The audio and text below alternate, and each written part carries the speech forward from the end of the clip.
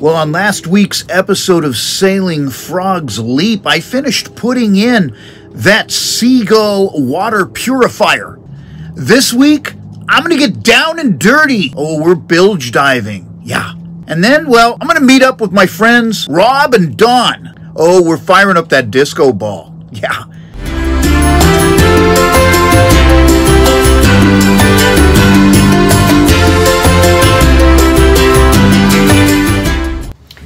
Right, I did this off camera because it was super dirty to get into the bilge, and, and, and it's not just dirty, but bilges are gross. So if you've ever dove in a bilge, you know you're talking about oils, fuels, anything else that might get in there, and and you know, so you got to mix of salt water, fresh water. If you have a sewage leak, you might have sewage in there. It could be anything in there. So or if there had been a sewage leak in the past and nobody ever cleaned it out. This is the nature of the bilge. The nature of the bilge, right? So I wore this when I was doing the bilge diving, so I'm wearing it again. I put it back on.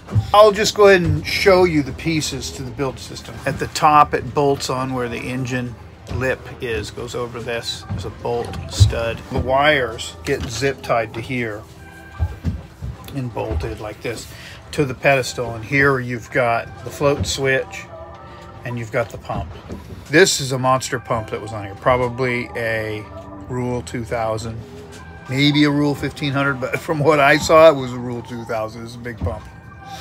I'm not going to put a big pump like that on here. I just don't think it's necessary, and if I carry a smaller pump, I can carry two, and if there's a problem, then I know I can just change it out. I mean, I certainly am not going to be relying on any bilge pump to keep my boat afloat. If you have a sinking boat, you need to be getting to shore. right? Let's just get that out of the way. we're going to be taking this off today. We're going to be putting the new one on, prepping things, right? We're just going to be prepping things and shooting some video, right? Right? So anyway, this is the pedestal we're to be working on. We'll set it down. I'm to show you some things too. This was the old pump. Look at this baby. So this, you you know, it sat on that strainer, which was screwed down to the thing. So that's how it was. It's heavy. This pump is heavy. These things are made to last. You can just look at it. It's been down there a while. I'm going to retire her.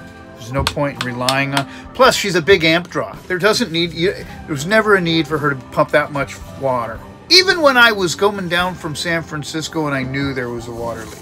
This is monstrous. this is monstrous.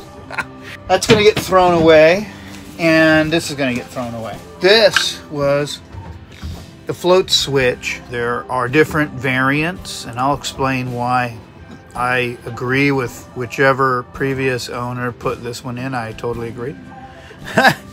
but one of the things you do have to do from time to time is pull it out and clean under here because oils and stuff will get in here. And then it'll make it to where this float switch, you'll hear it click. See when you when you if that gets gummed up with oils and whatnot in the bilge, this won't work properly. This is going away. Let me show you what I bought today to replace both of these things. I bought this pump. This is not nearly as big as the other one, but it will pump water. And that's what it is what is what I need. Uh, and it has the correct adapter and it pumps 1100 gallons per hour. Now, this is zero foot head lift how much vertical distance does it have to travel? You'll probably get 500 out of this in my boat, but that's fine.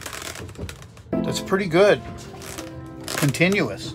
A continuous pump is uh, because it's not human. Doesn't have to eat, doesn't have to sleep, you know? What I like about it is specifically is that it has uh, a backflow preventer. So whatever it water it does pump up will keep up there because if it doesn't get the full six feet it's if it gets only three feet high it's going to stay there until it gets pumped again. Here's the thing i like the most about it. It is 12 volt model that draws at 12 volts dc she's going to draw 3.7 amps max. Woo! You were talking 12 amps for some of these big pumps. You could be going through some battery. so I really love the, um, that's why I'll just carry two of these. They're cheaper, they're easy to replace because they're smaller, pull it up, yank it down, done, right? There are different schools of thought on this and there's room to disagree. So knock yourselves out. And my float switch that uh, is the same exact one. This one, these two are the same. I mean, the, the printing on the top looks a little different. But these are the same float switch for all intents and purposes. The great thing about these and the reason why I bought this again is because of this housing around it.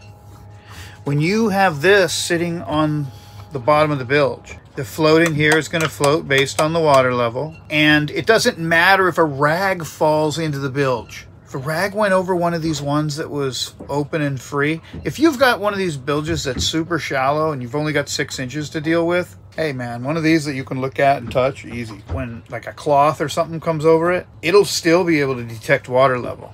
It'll still be able to kick the pump on and off. It's going to work perfectly no matter what is resting on it. So yes, uh, they get nasty in there with all the oil and stuff. And now this is after I cleaned it up quite a bit. So it was pretty stunning how much oil was in here. The thing could barely move. Now it moves pretty freely. Um, but if you're going in there, you might as well put a new one in. I mean, yeah. So we got a new one of these, a new one of these, and we're mounting both on this. Let's get started.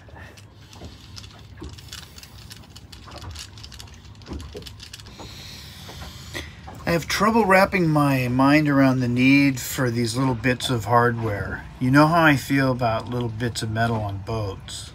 However, down here, I think we might be able to use these.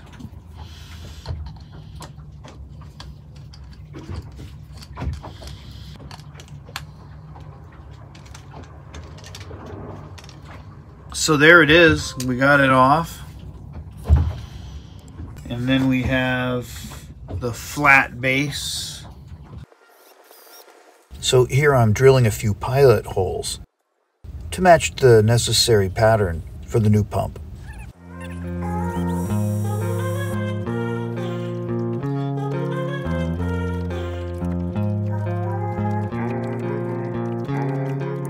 We're just going to tighten these down now.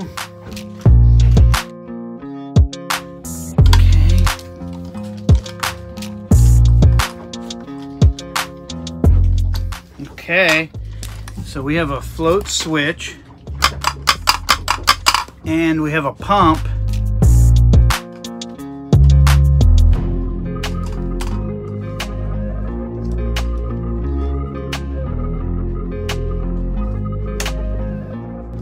It's on there really good and it's tiny compared to the other one. It was a monster.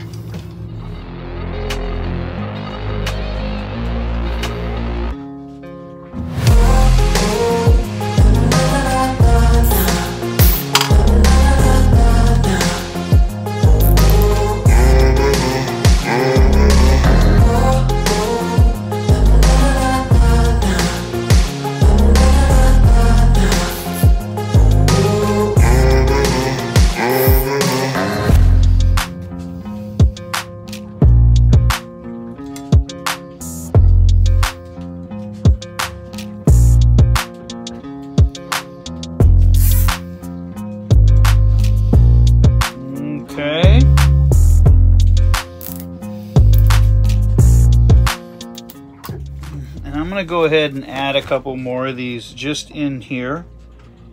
I just hate the idea of loose wires like this. Having like loose bits and stuff.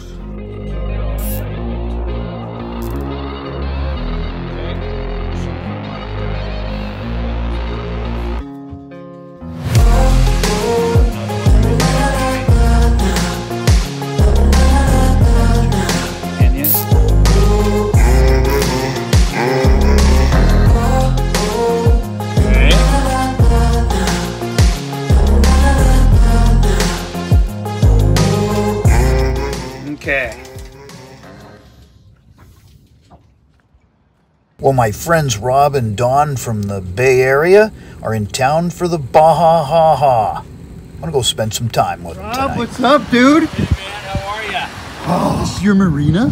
Harbor Island West, baby. Yeah, I like it. I don't think I've ever been over here.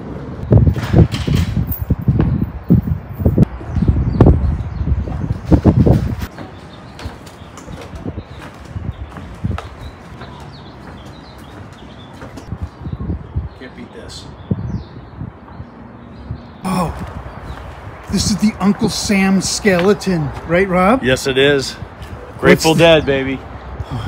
What's the significance of the Uncle Sam? It's just one of the Grateful Dead's logos um, for the U.S. blues and some of their other songs of that era. yeah.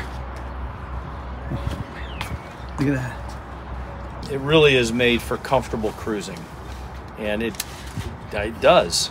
And the, but you can see the cockpit's pretty large for a 34 foot boat. Everything leads back here, so you can single hand this easily. Oh, I'm gonna single hand that beer right now. There you go, right there. Mm.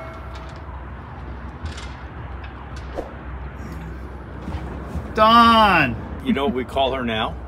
Captain Dawn.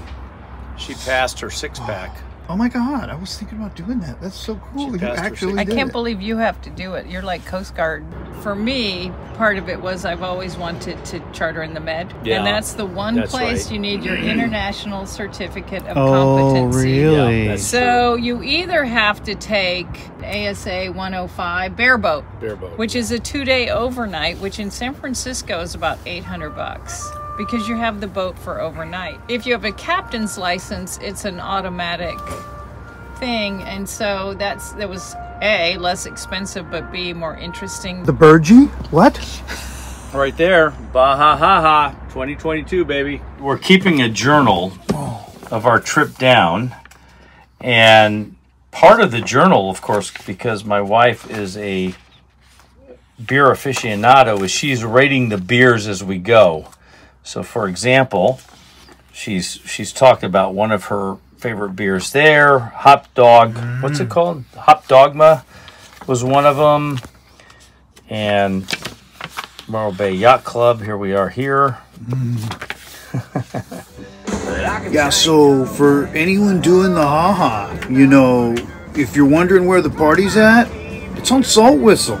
Oh, yeah. You can buy me a boat and a bottle of wine to boot. Well, thanks for watching this episode of Sailing Frog's Leap. Hey, I'm on my way. Subscribe and join me.